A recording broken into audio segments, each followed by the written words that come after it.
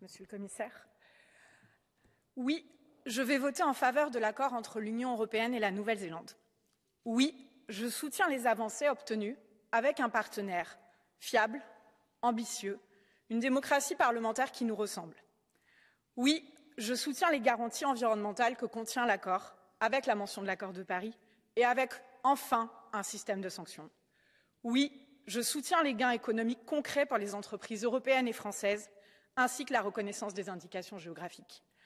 Alors, nous serons la seule force politique française capable d'assumer une telle vision. Les autres délégations allant souvent à l'encontre de leur groupe européen, restant dans un carcan idéologique dépassé.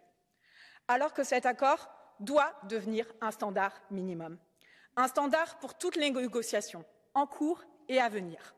C'est seulement avec la réciprocité des normes environnementales et agricoles que nous avancerons. Et cet accord les façonne. C'est seulement ainsi, avec cet accord, que nous façonnerons un commerce régulé, durable et juste. Alors, allons de l'avant avec cet accord.